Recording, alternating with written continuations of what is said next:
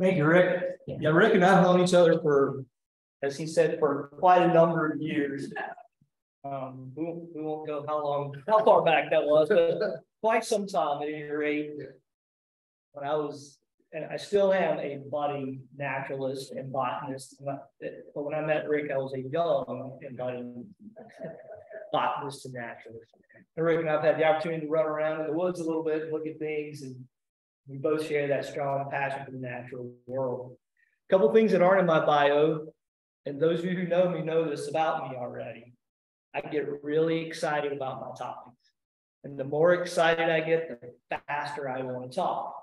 But after a number of years of practicing, I, I try to remind myself, to take a deep breath and slow down a little bit. But the other thing is, I also, when I start talking a little faster, as Rick said, I have been in the Southeast my entire life. And The faster and the more excited I get, the more I speak in Southernese. And you know what that means. Doesn't seem to go together. I can say that because from the South. Think about talking really fast and speaking in Southernese. Those two don't seem to match up very But it seemed to work for me in some way. So. And I do the same thing. Great. So when Rick asked me what I present, he's been after me for several years to, to come back and speak with the Native Plant Society. I just haven't had the opportunity or the honor to do so in several years. But I was trying to decide what topic I would choose to talk about. Rick, you can tell anything you want to. I said, great. So I had some some people who who had seen the Trillium talk that I gave the Native Plant Society, I don't know how many years ago, maybe probably close to 10 years ago, so down in the Greenville area. And I was talking with different people, and Dan Whitten said, talk about Trillium again. But okay, that sounds great to me. And several of you were like, yeah, Trillium would be a great topic. So we're going to be talking about that tonight. We're talking about Trillium of the Carolinas. Well, technology, what do we do?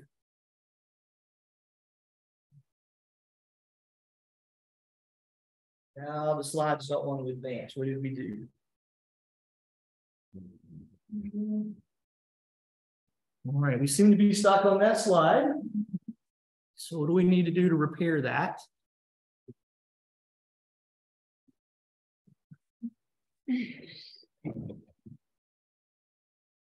I'll tell you what, while Pam is going get the technology going back there again for us get it so that I can advance slides so you can see the rest of them as I present. Um, have had the honor of over the last week to be able to do some roaming around in the woods in the Great Smoky Mountains National Park. I'm also on the Blue Ridge Parkway and the Mountain Bridge Wilderness area, and pretty much all along the Blue Ridge Escarpment. It's working here, but I don't know about over there. No.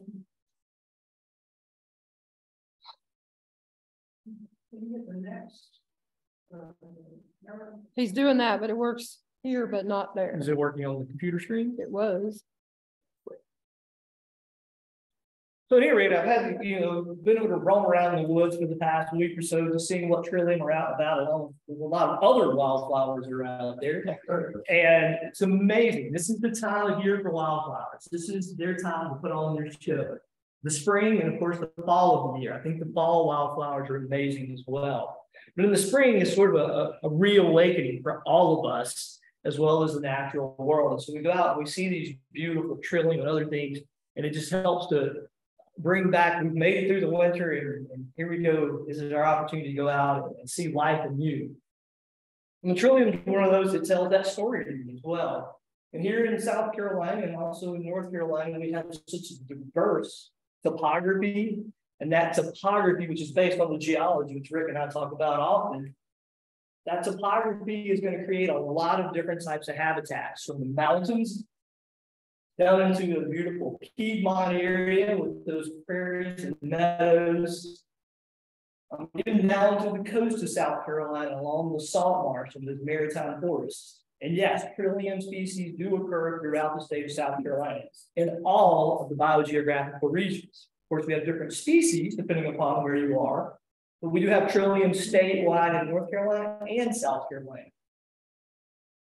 And Trillium is one of those plants that it's a little bit slow about getting started, but once they get started, they're around for the long haul. And one of the ways in which they get started and spread around is by, of course, like many plants, is going to be by pollen.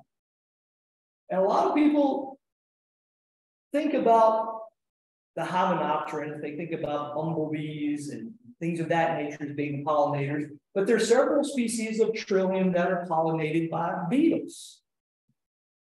And then, of course, there are going to be those hymenopterans. This is one of my favorite photographs. It's covered with pollen deep down inside of that trillium flower. Um, also bumblebees, as I mentioned, are one of the pollinators of trillium. But that's just part of the story. You got to get pollinated first, and fertilization has to take place. And if all goes well, you set fruit and you produce seeds. But now the next challenge for trillium is going to be how do I disperse my seeds? Um, and one of the ways in which trillium seeds are dispersed is by ants. We have this seed structure that's got this fatty tissue in there called the elaiosome, and it's nice, full of nutrients for the ants. they come over, they gnaw open the fruit of the trillium, they pull out these seeds, they take them back, go down underneath the ground and feast upon this fatty material that's on there, which by the way was the food of the new trillium, by the way, on the outside, because most of the lunch is packed on the inside. But a little bit of it on the outside is part of that overall development. Once that seed is planted, then all the nutrients it's going to need to it can make its song is all packed inside of that seed. Ants carry them about 25 yards on average. So if you think about moving 25 yards at its maximum potential every time that there's seed moved, you're not moving around very fast. And when I tell people that plants move, they look at me like, what do you mean plants move? Of course they move. They, they just move slower than animals. I heard Rudy Mancke say once, you know why plants don't move quickly? They don't have to. They can make their own food, most of them. Things that move around a lot, they've got to collect and gather them. Plants, they just make their own. So they don't really need to move around very quickly. Of course, there are other things that disperse the seeds of trillium. Um, yellow jackets being one of those. They're also after that same elaiosome that's on there. Going to move a little bit further, 75 yards on average, so about 25 yards for the ant dispersal, about 75 yards on average for the yellow jacket dispersal. So you think about that, once again, these seeds aren't really being moved any great distance quickly. However, Dr. Tim Spira, when he was at Clemson University, he was working with one of his graduate students and doing some DNA work and following the movement of these trillium. Of course, they were going 25 yards, 75 yards, but they were finding some of these trillium with the same genetics over a mile away. The question was, how did they go that far? Well, there's the answer on the screen. Turns out that white-tailed deer also do some seed dispersal. Now, I can tell you from experience that one of the favorite foods of white-tailed deer are trillium. They love to eat what we call the leaves. A little bit later on, we're going to talk about what we call leaves aren't really leaves. They're actually part of the flower. But they must taste really, really good. Because I have thousands of fresh, young, new, tender leaves on the wildflowers in my yard. They will walk straight up to the Trillium simile, nip off the leaves, and walk by everything else. But as it turns out, they also appear to eat the fruits as well, carry them off and deposit them sometimes more than a mile away. So we're getting a little bit of dispersal from them as well. Well, I mentioned they're kind of getting a slow start, if you would. You're getting moved around very short distances, but once they get there, they're there for a while. If some of the research has been done, they have found trillium, individual trillium, that are more than a hundred years old. And I say more than a hundred years old because if you look at the root structure on this, each year they're going to add a new segment, if you would. That's what these arrows are pointing out. So the plant, even once it's planted, is slowly moving ahead. It's going to get basically where the stem comes down, it's going to add new growth, then it'll come up a little bit, keeps moving and moving. They have counted over a hundred of these, we'll call them growth rings.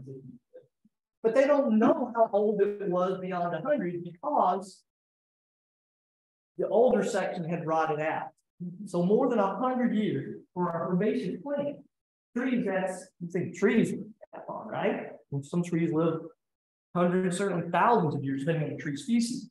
A trillium can live over a hundred years, slow to move by sea, but once they get there, they're gonna be there for a long time.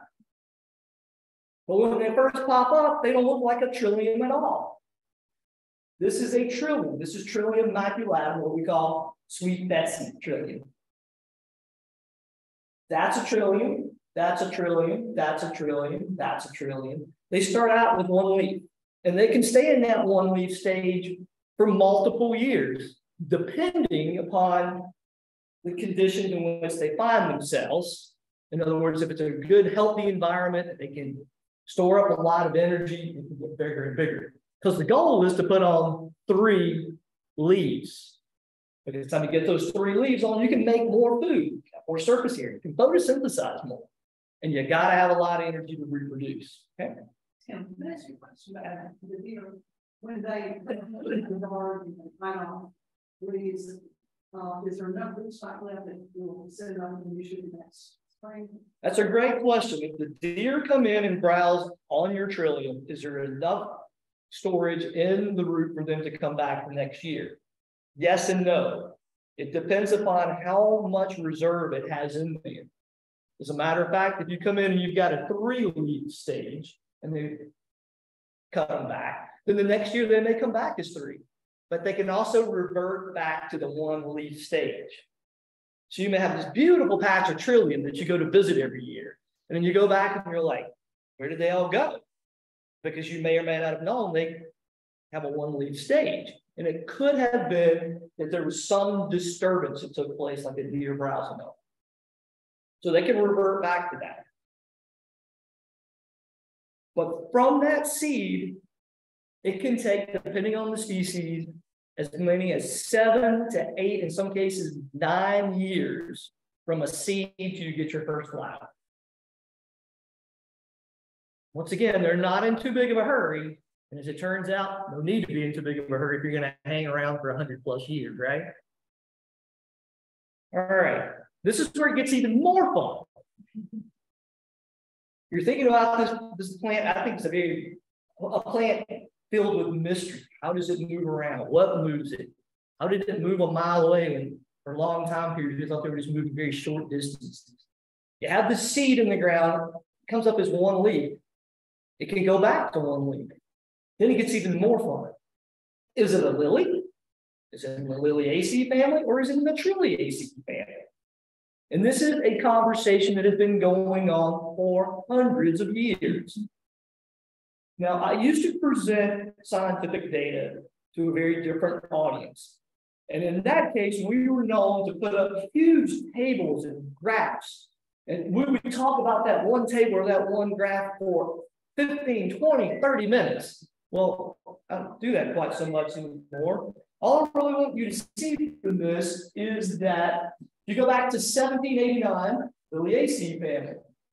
Oh, 1829, a new family. Oh, 1846, we went back to Trilliaceae. Oh, 1883, Lily, Lily, Lily. Oh, back to. Keep moving our way on down through here. The taxonomy we're going to be following tonight is based on Alan Weakley's flora of the Southeast. They are in the Trilliaceae family. Lots of debate that's going on, but that's the taxonomy we're going to be talking about tonight. Even though I know there are many great wildflower books out there, and you go and you look and they tell you it's in the lily family. There's a reason for that. I love this quote. In 1817, the botanist Stephen Elliott did a sketch of the botany of South Carolina and Georgia, had this to say about Trillium. This genus is an interesting one under great simplicity and great conformity of habit. Three leaves at the summit of the stem, supporting one solitary terminal flower. It contains and conceals many species. You may have heard someone say it's easy to get to genus. That's a trillium. Well, turns out not so much. We're going to see a trillium in a little while, it's not in the trillium genus. So let's get down to the basic of what is a trillium and how it's made up. We're gonna look at this as sort of a typical flower pattern. We recognize this is a trillium as stated in the earlier slide. It's, it's how that you're gonna have these three petals on here. You're gonna have six of your stamens in here. You have that single ovary in there. You're gonna have your sepals in the background. You have these things that are leaves. We call them leaves, but what are they really?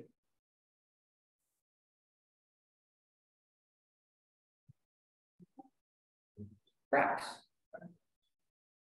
So everything you see above ground that's not the stem is the flower. But for the purposes of this presentation tonight, we're going to refer to what we call the leaves as being the leaves. All right. But understand that they are, they're doing the same function. They're photosynthesizing. That's their primary purpose is to, to make food for the plant. But technically, they're not leaves. Trillium are great, aren't they? This gets more fun. All right. So if we saw this out in the woods as we were walking through, we would certainly recognize this as a trillium. All of our nice parts of threes in here. What species is it though? When you start looking at trillium, it's easy to get to genus. We'll, we'll kind of stay with that, but you're not going to be just looking at the color of the petals. You're going to be looking at the shape of the petals. You're going to be looking at how much they overlap, but you're also got to look at all these structures in the middle. The color of the ovary, is it dark? Is it almost a washed out red or is it a deep purple to a black? Is it light green to yellow? And you look at these anthers. What color are they? How long are they? What are their shapes? Got the idea? Now, as the gentleman said from the quote earlier from the 1800s, well, of course, they behave very well. You have one stem coming up and you have one flower. What's going on with this thing? These are what we're going to call tonight. One, two, three leaves, one, two, three leaves, and a flower in the middle. This thing has six leaves. I have seen trilliums with parts of two, parts of three, parts of four, parts of five, and yes, parts of six. Now, this is yellow trillium or trillium luteum. I took this photograph uh, at Greenbrier up in the Great Smoky Mountains National Park. Huge, huge, huge population of them. And that's what happens when you get large populations. You get those individuals that are like, hey, I'm going to look just a little bit different from everybody else. Now, of course, they're not going to think that, but you have all these recessive genes in there that don't get that opportunity to show themselves. But now you've got this huge population, and now you can just a little different, if you would. When you're looking at trillium, you may have a single stem coming up. We're going to call these the leaves, and the flower sits right on the top. This group we refer to sometimes as the toad shade or the sessile or sessile trillium. Gets the name of toad shade because most of them, the leaves are going to be mottled like the skin of a toad. But I've seen them that they weren't. But you're not going to have a pedestal, a stem in which that has the flowers. These are sessile. You can also have those that are not or erect. They are pedicellate. So you've got your sessile and you have your pedicellate. So you can take all the fern, excuse me, all of the trillium that are out there. You can at least break them down into two major groups. So it makes it a little easier for identification. We're going to start out with some of the toad shade trilliums. This is one that probably most of us in this room recognize. Um, the sweet Betsy trillium gets the common name from sweet because it has a beautiful, very fragrant. To me, it sort of smells like bananas. Each person's different. Somebody told me it smelled like sweethearts one time. Okay. If you go to a huge population of sweet um, Betsy's, the air is just very, very fragrant. Look on here, of course, we can't see the stem coming up. This is sessile, sitting right on the top. We've got our mottled leaves on there, letting us know that we have sweet Betsy Trillium. All right. So what's this one then? Coming up, we've got sessile, got our mottled leaves on there. But look at the color of the petals. Are those yellow? The green?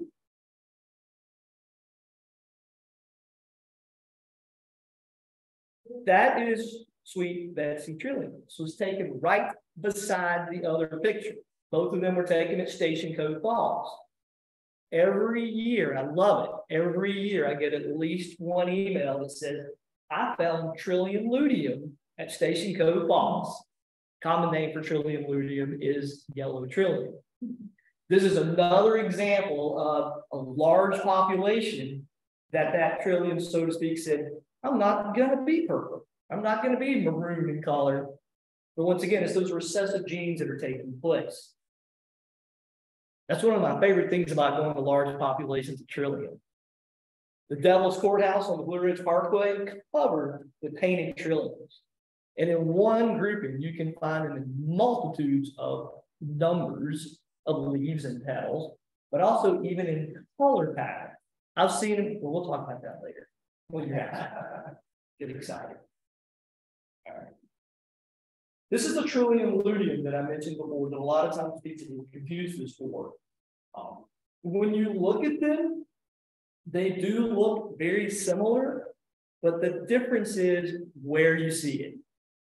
One of the things that I, I don't want to say always, but I try to always tell people is when you're trying to identify something, be it a trillium, be it a, an iris, be it a bird, the first question you ask is, where did you see it? Because that's going to make a big difference. Because as I mentioned, Trillium have a very wide distribution, especially throughout the southeastern United States. However, you're going to find different species of Trillium in different locales. Including this one. This is faded trillium or trillium discolor. It's another one of our wake robin trilliums or our toad shade trilliums sessile, if you will. But look at the shape of the petal on this. Kind of narrow near the base, it comes up and then it rounds off almost like a spoon or a spatula.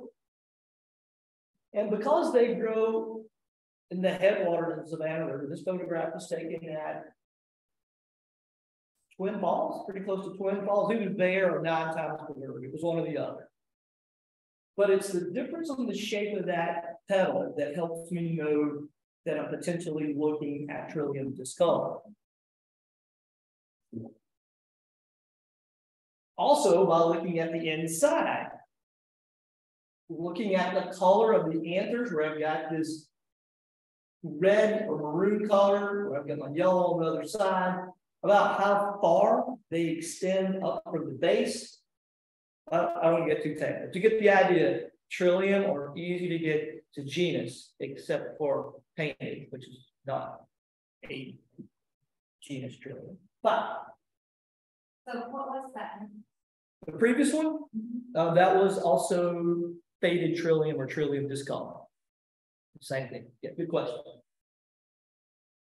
Cane Creek. Cane Creek has lots of them, absolutely.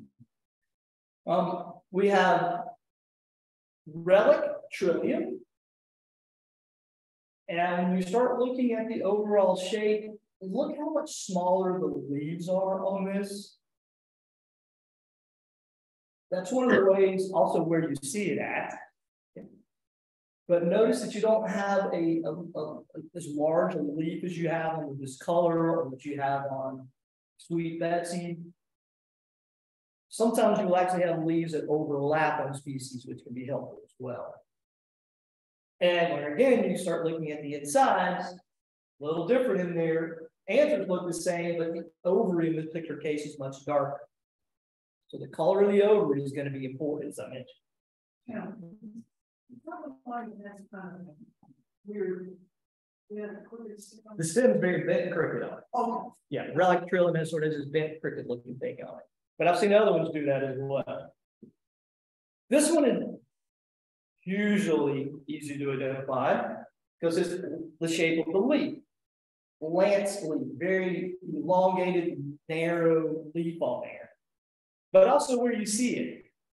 You go to Congaree National Park, you will see Lance leaf trillium. Let's see, is it at Stevens Creek? Yes, Stevens Creek is also another good place. It's also South Carolina Botanical Gardens as well, if you go from the mountains to see on that trail. But that lance shaped leaf.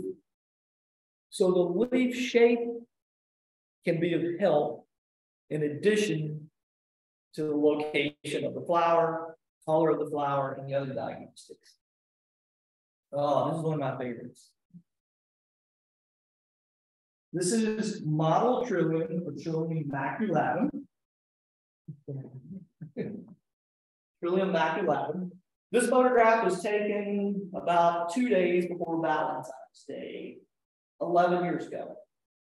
Uh, this is a, this photograph was taken about, I could see the ocean. I was standing there, and I was looking across the salt marsh and down to my left, I could see the ocean.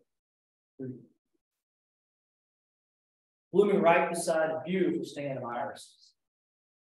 Give an idea of that. This photograph, if I were to ask you where I was in the state, you could probably help narrow it down. Look at those palms in the background. All right.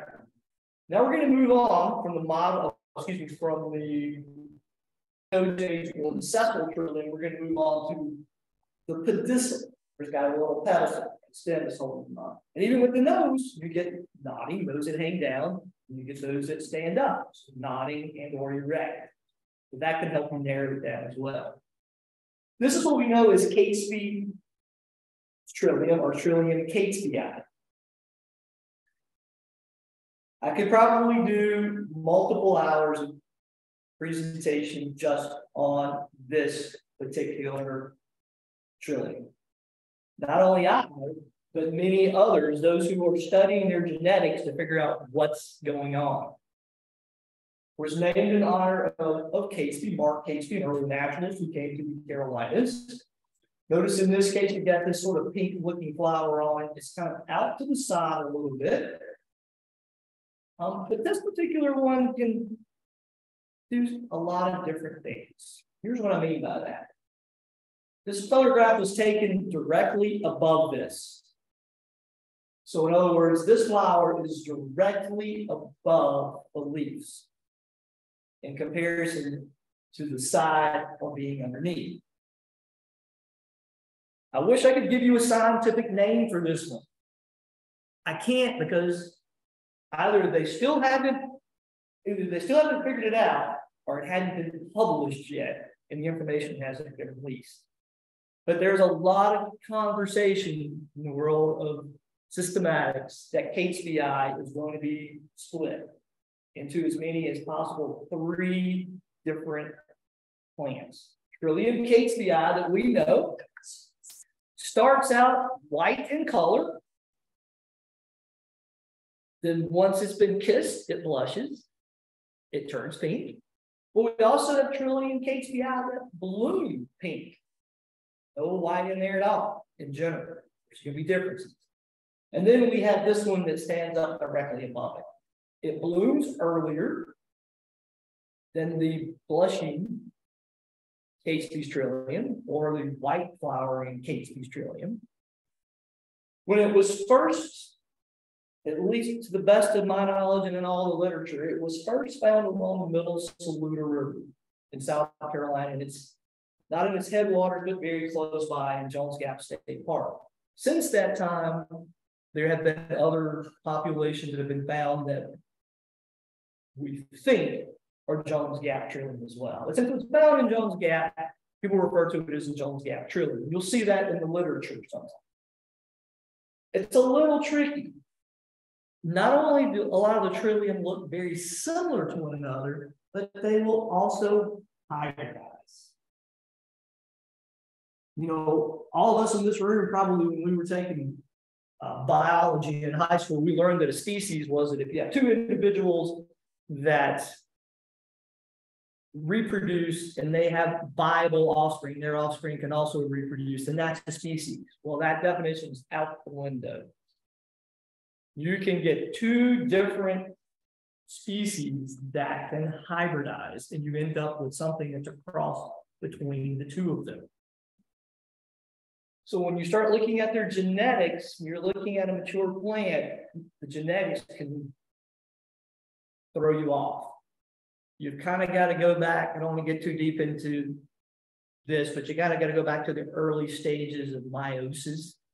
And then you've got to do some extraction and it takes a lot of work, but I keep my fingers crossed that someday I'll be able to stand in front of an audience and tell you the three names for the different species that come out of this. But there's lots of debate out there that's still going on. Uh, painted trillium. This is the trillium that's not in the trillium genus that we have. Trillium undulatum. That name's been around for a while. You keep up with scientific names, you know that that genus has been around for a while. But not all of our trillium in the Carolinas are in the trillium genus. Here's a different genus that we have, in South Carolina. Um, and in North Carolina. When I was on the parkway, as well as in Cataloochee Valley, these things are in bloom everywhere. Everywhere. And I was getting all excited about them, and the group that I was with, they were getting excited because I was getting excited. And I said, no, you don't understand, this is a great plant. But you know, I guess if you're from North Carolina, you might not be as excited about it as us folks from South Carolina get by. Because in South Carolina, there are only three historic records of populations in the state. Of those three, I only know of one of them that they are still there and still blooming. The two in Sumter National Forest, I've been to those locations and I have not been able to find them. Hopefully someday they will be relocated. Uh, but as of now, there is one population within South Carolina. And here's why. It's about where you are. And how can you get there? And how can you get there? Exactly. Painted trillium in general is around 3,000 plus feet above sea level. Most of the literature is going to tell you it's between three to five. And it depends on your latitude, where you are. And it also depends, I talk about topography. If you're, if you're deep down in a, a, gorge, like when I was over in Cataloochee Valley, higher elevation, not 4,000, but it was in that cove. So therefore you had conditions that were more akin to being in higher elevations. In South Carolina, we don't have anything above 4,000 feet, but we do have a few places that because of the topography plus the elevation have conditions that allow any trillium to be able to survive there. As I mentioned on the Blue Ridge Parkway, the Devil's Courthouse, I've seen these things in all sorts of multitudes, including double flower. They had six petals.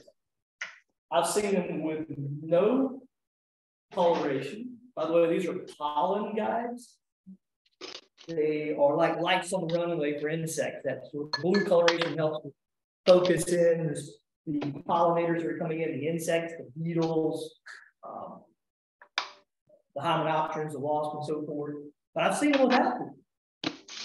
What's the advantage of that? May not be much advantage because the majority have the painting on them.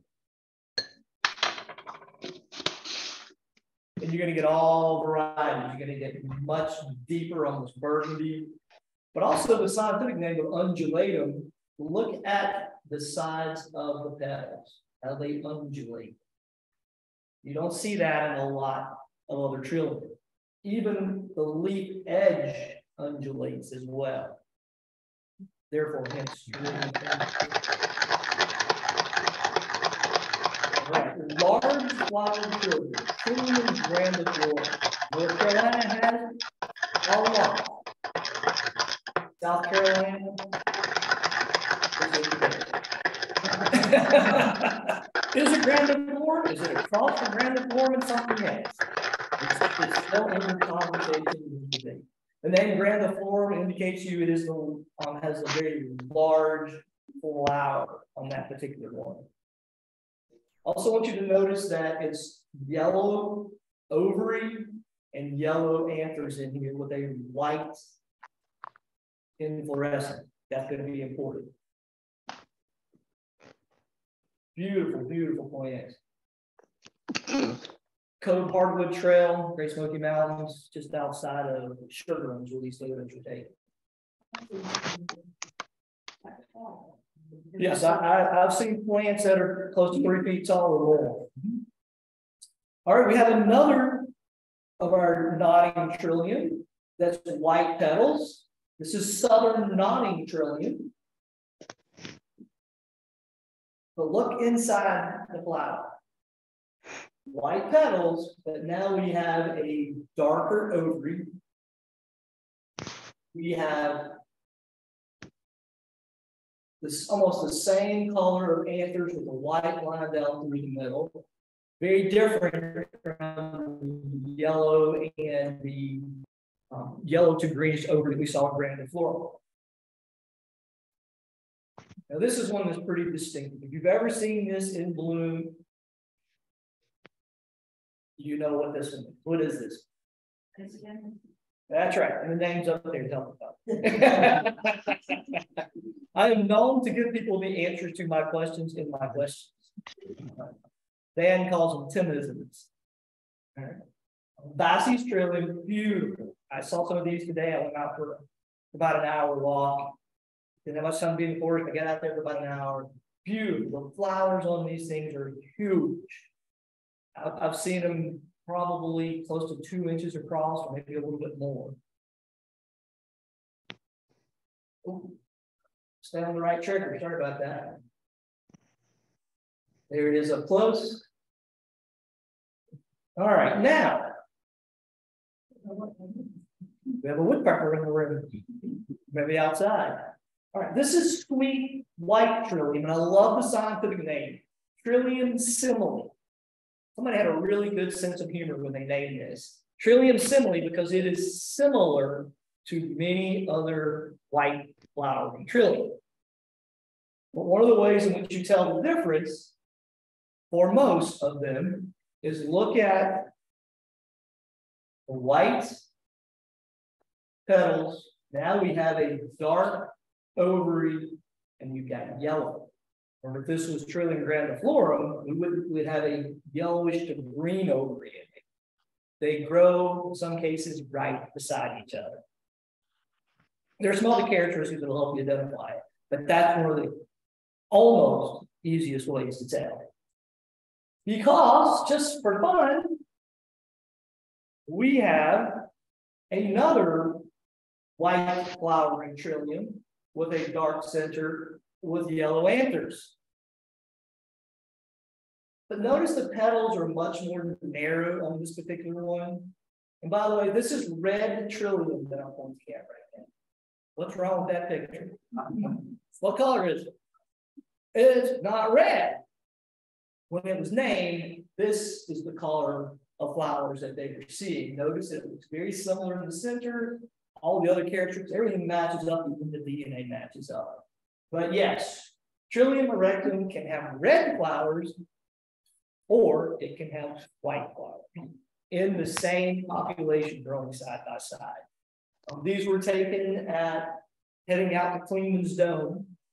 I'm up in the Smokies. There's a pull off there on the right. You can access the Appalachian Trail down there. I can't think of the name of the pull off. These things are growing right in the parking lot. They're a crab apple tree. Huge population. All right, so now I have tried to show you some ways to possibly recognize and identify them. Uh, but Janie Marlowe is going much further than that. You go to name that plant, and, and Janie has on there some basic keys that are set up on there. This is, will not be interactive tonight because I don't have it. This is just a, a screenshot. But you can go in and go to that key, and then you will it'll ask you if the leaves are mottled in different shades of green. Can't see that top one, I apologize, it's hidden back there. Um, but if you click on that, you can come down and ask if the flowers born on stalks In other words, are they pedicellate? Or are they sessile without stop underneath? Then you hit submit. And in this case, I just ask it for this and it lists me all the possibilities that are there. You can go in and ask it more. The petals with a coarse texture and prominent netted veins, not wavy margin, which is what I chose. And it said, okay, these are your options. Northern nodding trillium, bent trilliums, southern nodding, and some other species. By the way, that site is North Carolina, South Carolina, and Georgia, because obviously Emma, the Lola trillium is in Georgia. All right. So what questions can I answer for you? Wow. The painted is in. Can I explain why painted trillium is in a different genus of trillium?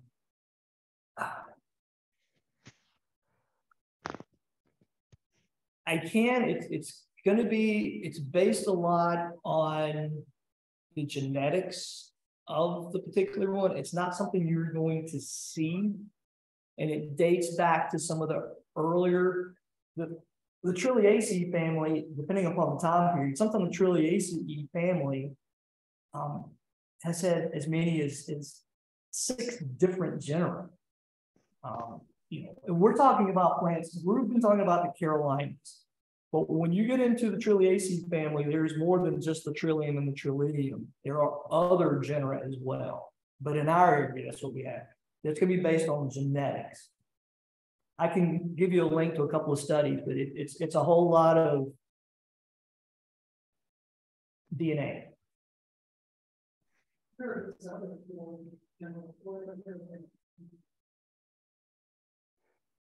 We have 50, approximately 50 species of Trilliaceae in North America.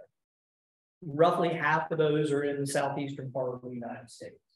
We talk about how, and it's very true, we have so much diversity within the southern Appalachian Mountains, within the southeast of, of North America. The greatest diversity of the Trillium genus is in the southeast. And by the way, the greatest diversity within the southeast is the Savannah River Drainage Basin. They're right here in our backyard, too far away. Others are in different locations around the world. So in multiple places. Or did he have locations in the world? As the genus, Trillium? No, I think it's. no, the trillium, the trill, the trillium genus is North America. And throw the trillium in there for the painting. What, what other questions can I answer for you? Is trillium monotypic? There are other species. According to the literature, it depends on the the week you're reading. At least what, one of the great things with technology is, as many of you know. By the time things go into print, they're out of date. Um, On a computer, you can change things and update them pretty quickly. So by the time you get into the latest and the greatest, it's already old news by the time this is publication. How many species do you have in the mountain? How many species of trillium? Depends on if you're a lumper or a splitter. I mean, I think both are good. Splitters mean you're gonna break it down to the nitty gritty like HBI is don't gap trillium or things of that nature. See, we have sweet mountain sweet Betsy trillium. We have what we call the Jones Gap trillium. And we have Vasey's trillium. We have three. Can't tell you that. I can tell you that there are painted trilliums in the state of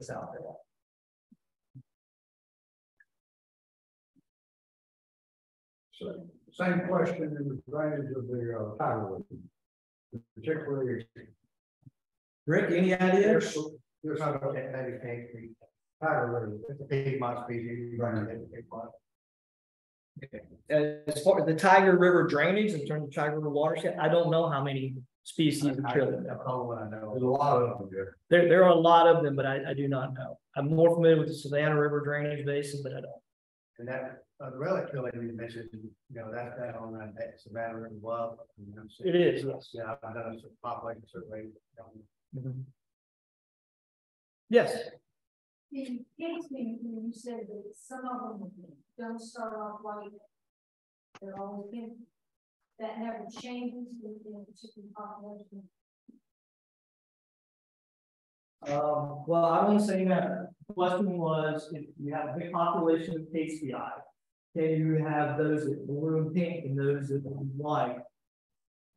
I, I, that could be a possibility, I've never seen it. Usually, if it's a population of them, they balloon one color or the other. You know, once you said start white and turn pink, and then of them start. Those, those two were about that. never- I want to say, I, When the, the individual ones that bloom pink, bloom pink every time. And you can take their seeds and plant them and they'll bloom.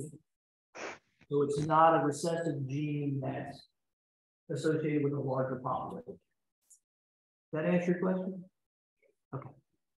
Yes, How much of a variation is there on where they grow, on the type of soil, the type of light? Um.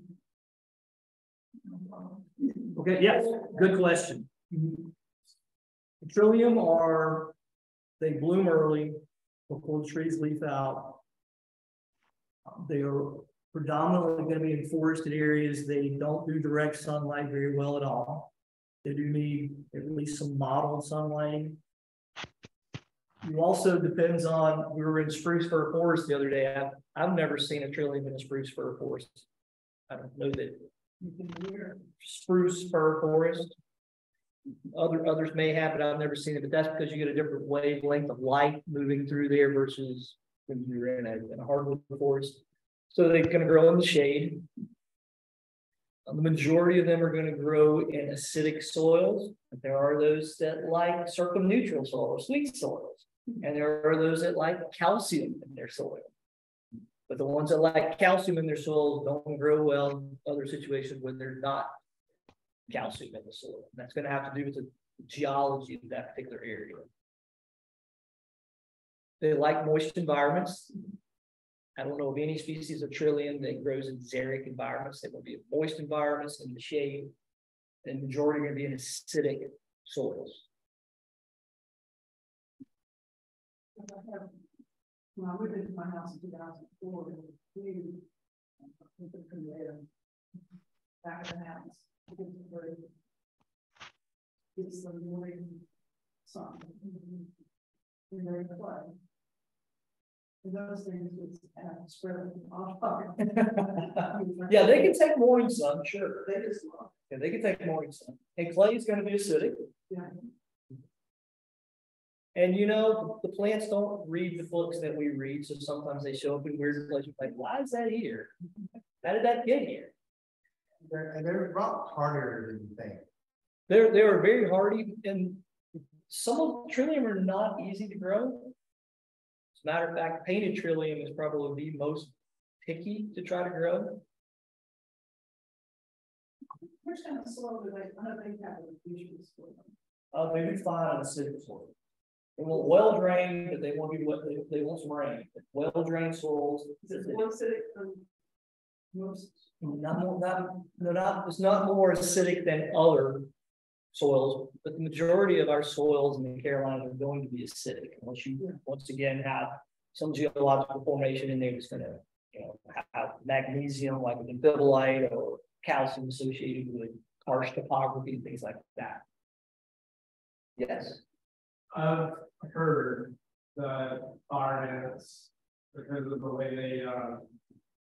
Feed on the elaiosome, um, actually can destroy trillium seed. Is that something that you've heard as well, and have you had experience with that? If so, how much of an impact is that having on trillium population? Well, that is a really good question. With the introduction of fire ants, come, of course, they will, they will kill other native ants, so you're removing your native ants that were seed dispersers, so it's not only affecting trillium. But other plants that their seeds are ant dispersed. So you're removing part of them.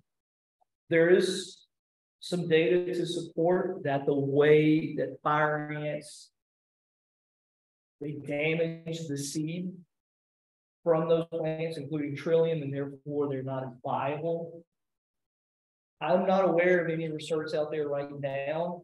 That doesn't mean it doesn't exist, but I'm not aware of any research out there that. Giving any indication about how it's affected trillium populations in the area. But that is a great question. I love a program and I go home with at least one question. I know it was a good program, so I'm gonna do some research on that. Thank you. All right, I got time for maybe one or two more questions. Want to be respectful of everybody's time. Why is the greatest everything? Why is the greatest diversity of trillium in the Savannah River drainage basin? There's, there's probably a number of answers to that, the factors to that. There's no one in particular thing.